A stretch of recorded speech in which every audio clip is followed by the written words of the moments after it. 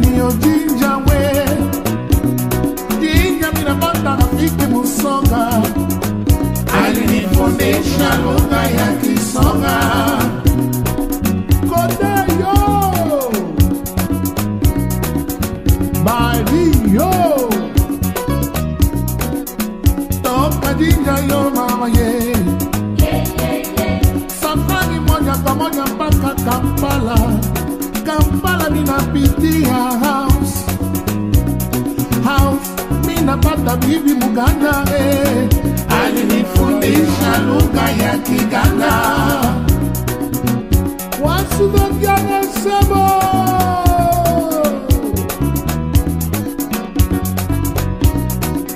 Burundi nyabo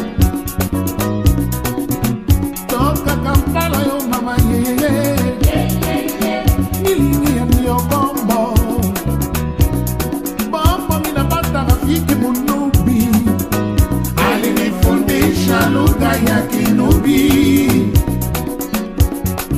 tasunu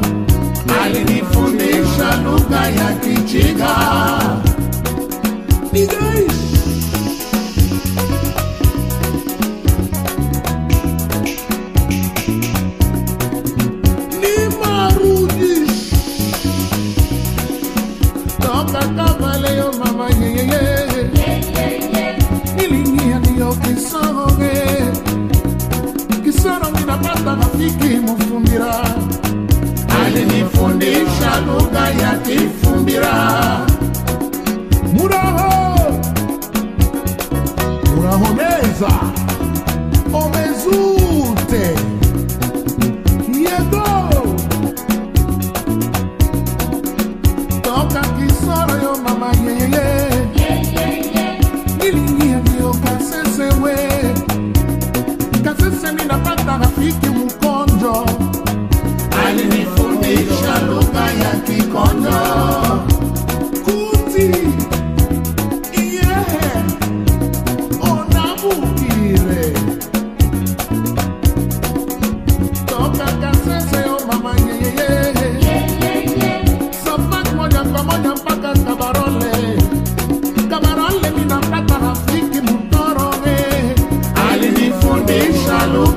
ti.